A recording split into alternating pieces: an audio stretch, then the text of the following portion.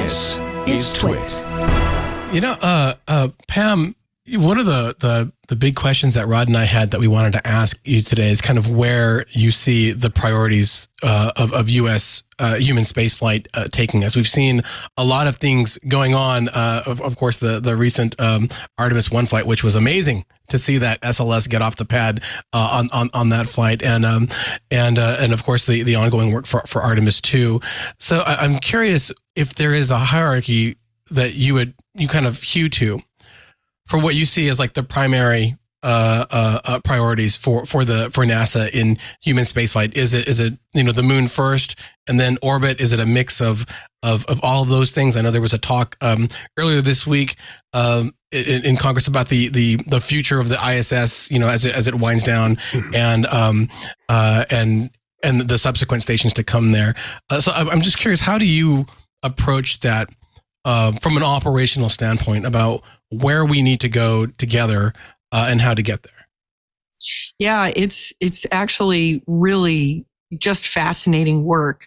And the philosophy that I bring to it is that you actually have to start mentally at the destination, paint the picture of what it is you're trying to achieve. What would good look like? What is it that you're actually trying to do? And then what happens then is then that's called architecting from the right. And then you flow backwards and say, okay, what are the things that we need as a part of that vision? What, what do we have to achieve to, to achieve that vision? And the challenge always is, of course, because you're dealing with um, everything that you're doing today. We continue to execute operationally everything we're doing today. So you have to recognize you're also executing from the left. And the challenge is really focusing on the future and how you are going to transition from where you are today to where you're trying to get to. So, uh, the key insight really about what we're trying to do is that this is not about the moon. It's not about Mars. It's actually about a sustained human presence and responsible exploration throughout the solar system. This is what I believe the American people wants from us. I mean, how many times have you heard it? Well, why did we go to the moon and then we didn't go anywhere else? And, you know, look at the proliferation of uh, science fiction uh, out there. And it's like, when do we make this giant leap that humans are going to go off the planet and in, in a persistent way and a sustained way? And uh, it is an awesome vision. But all of a sudden, a lot of things become clear. I mean, we learned from station logistics. People need supplies to support mm-hmm. them. So all of a sudden, you start flowing that down. And it really became clear that if we don't practice this on the moon, it's going to be way hard to do it at the next destination. And so ideally, we're going to practice this on the moon and kind of polish up what we consider a blueprint.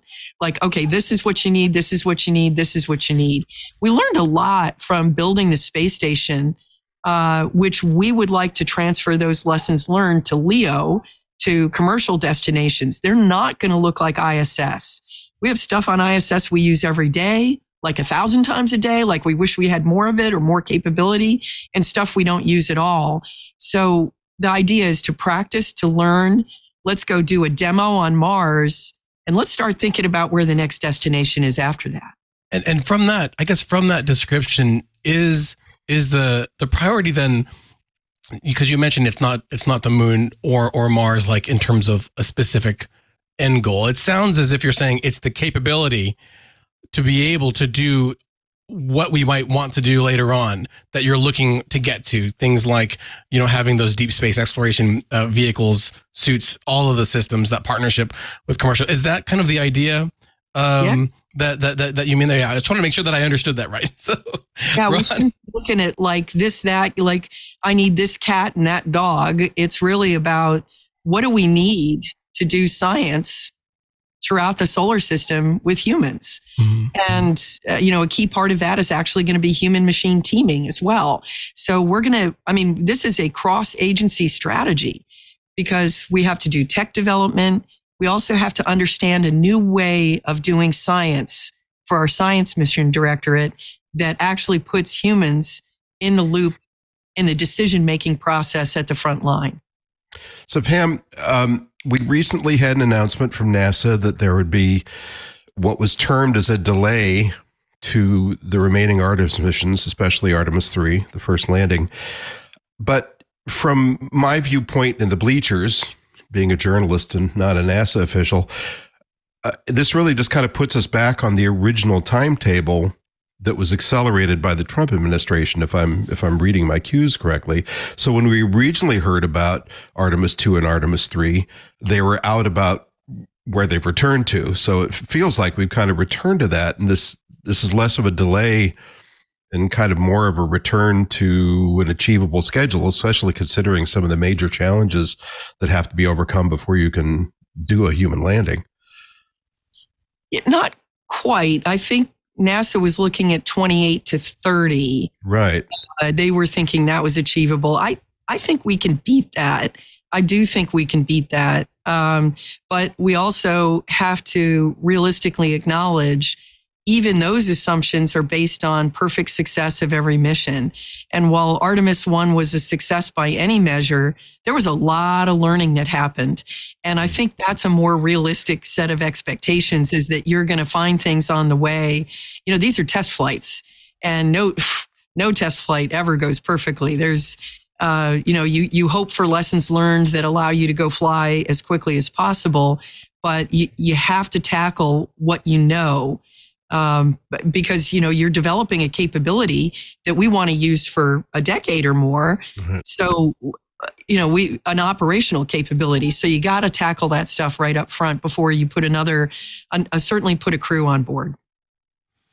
And that crew is is training right now for Artemis Artemis 2. I mean, we, we saw, I think, some some water training earlier. I think we've got a, a look inside the the capsule. What are you hoping to see uh, in terms of improvements um, in either the, the vehicle or that training, you know, that, that the extra time is gonna uh, is gonna get you, NASA, and the, and, and the team overall?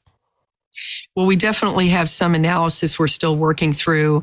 I think we're very close on uh, closing on what the issues are around uh, what we saw more charring than we expected that our models uh, showed us for the heat shield.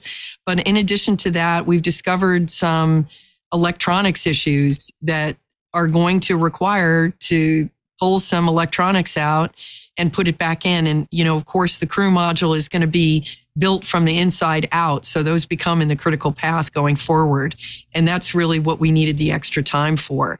I think the crew is actually grateful for this. I, I, I reflect on my own personal experience on one of the first ISS assembly missions. And I can tell you, I was on three assembly missions and the training for each one of them was very different and it was better every time. On the third assembly flight, uh, ISS 3A, that was the one that I was on. Uh, some of the procedures that we had, we were making up as we went along because the ops had not yet the you know the maturity wasn't there until the hardware got on orbit and really the integration was happening real time. And we had a lot of issues. I spent a lot of time looking at the software on station, looking at known bugs and other features and and and training around that. And so I think the crew is really helping to write the procedures as they go. So they can absolutely use that extra time. It's sort of the first time the crew meets the hardware really mm-hmm. face to face and all of a sudden you find out all kinds of things will maybe not work perfectly the way they were planned. Well, and, and, this brings up a really good point of, uh, and you talked about this earlier about this being kind of the experimental steps in a lot of ways we have to take for, for moving on to Mars and beyond. Um, so looking at, so we've got the SLS, we've got the Orion capsule, both have worked brilliantly so far. Then we've got these two lunar landers under development for now, anyway, uh, maybe more later and and a lot of other technology, EVA suits and so forth. But I think one thing that is still kind of unclear to a lot of folks, at least in general public, is sort of what the big picture is. You know, where when does the the, the base or the semi-permanent habitat on the surface get placed? When does Gateway come into play? And what's the big picture in terms of uh, long-term lunar exploration? Could you just address that in a nutshell? Yeah, I mean, it's possible to go online. We have an architecture concept uh, uh, and which we update every year as we learn new things, but also as we bring new international partners on who are developing elements and uh, putting those pieces in play. I would say we are right at the cusp of all the conversations that you're talking about. We're talking about pressurized and unpressurized rovers because mobility is a key aspect of being able to do science. Um, just one of my favorite statistics it took 25 years for all the rovers on Mars to finally exceed the distance traveled during Apollo on the moon. Right. And so those rovers really are important because they broaden the horizon of the science that you can get done. You can have a much greater diversity in terms of samples and, and just sort of understanding uh, someplace as a whole planet. So those things are really, really important. And those are definitely um, in, uh, I will say, full play right now. And we are having discussions about habitats. And I think uh, when we analyze the habitat situation, it's actually not clear whether we need like one place that you always go to. I think we think in the end that's probably the right thing to do that because then you can con- concentrate the infrastructure like the power grid and the and so forth. But even if you look at communications, if you're going to be sending rovers out everywhere, do you need a pup tents? and what about the comms situation? Do you want a 5G network on the moon? Is everything being bounced up to orbit? How is that working? So I would say a huge part that is happening inside the agency right now and with our international partners. And, uh, you know, it, it sounds great to just, well, when are you going to build a moon base? Right. this is really about getting to the point of, well, what are the real requirements for this? And that's what we're in that, in the middle of that requirements development. Hey, if you enjoyed this clip, be sure to check out This Week in Space. You can find us on your favorite podcast app or see the link in the description below. See you there.